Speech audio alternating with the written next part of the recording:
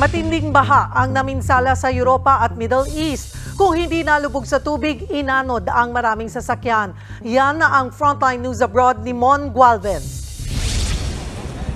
Mukhang hindi na magagamit ang mga sasakyang ito matapos malubog sa baha sa Istanbul, Turkey. Abot hanggang bewang ang tubig matapos manalasan ng malakas na bagyo na kumitil sa buhay ng dalawang tao.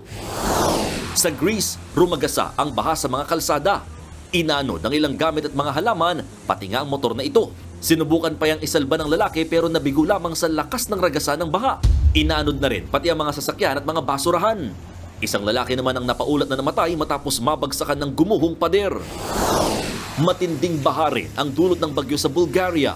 Dose-dose ng residente ng inilikas pero may ilan pa rin nanatiling stranded. Nagdeklara na roon ng state of emergency matapos mapaulat ng dalawang tao ang nasawi. Habang sa Brazil, kita sa aerial video na ito ang malawakang pagbaha matapos ang ilang araw ng mga pag-ulan na nagpaapaw sa mga ilog. Gumamit na ng helicopter ang mga rescuer para ilikas sa mga apektadong residente. 21 na ang kumpirmadong patay doon.